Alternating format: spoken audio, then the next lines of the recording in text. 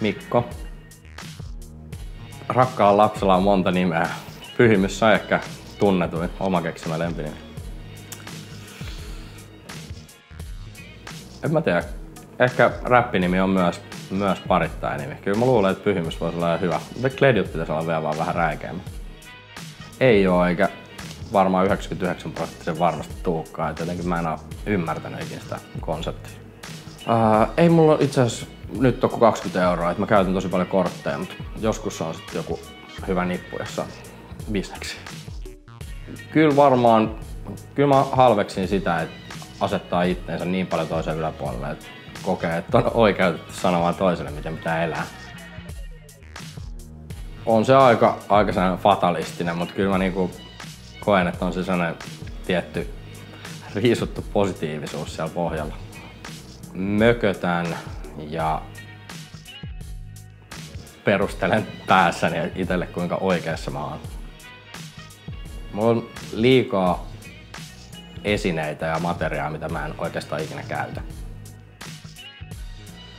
No mulla on aika monta alter egoa, mutta tota, kyllä ne on aina silleen viipaleita omasta itsestäni, että joko ne on niinku kärjistetty hauskoja ja niinku huolettomia tai sitten ne on erittäin niinku tuskaa kärsiviä. Et jotenkin alter egot on helpompi hallita kuin todellinen ego. Se on tollanen että kaksihäntäinen pesukar. Kutsu plus.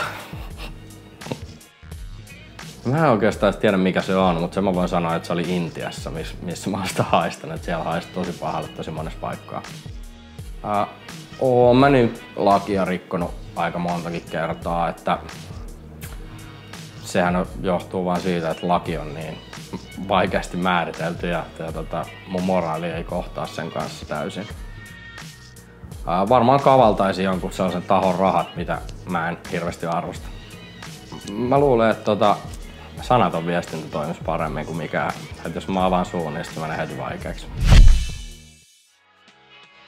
Unohdin ilmoittaa sulle. Joo, yritin soittaa sille, mutta en saanut kiinni. Yritän pommittaa sitä Tonia vielä. Viimeksi. Tää, tää on niin tuore, että tästä jää kiinni vielä. Jostain tota... tuloista. Ehkä. No, kyllä mä tavallaan niin kuin joka keikan jälkeen pyrin sammumaan niin kuin aktiivisesti päästä siihen pisteeseen. Viimeisin oivallus. Kyllä mä luulen, että se liittyy tuohon duuniin, että kai se on joku, joku biisin aihe. Tänään mä kirjoitin esimerkiksi toimistossa yhden kertosäkeen Ruger Hauerin uudelle levylle, niin ehkä se on sitten se oivallus. Ää, totuus, jos saa valehdella. En mä tiedä, jostain syystä tällä hetkellä mulla tulee Arttu Viskari mieleen. Mut mä koen niinku saunan myös tosi niinku epäseksuaalisena asiana tällä tarkennuksena.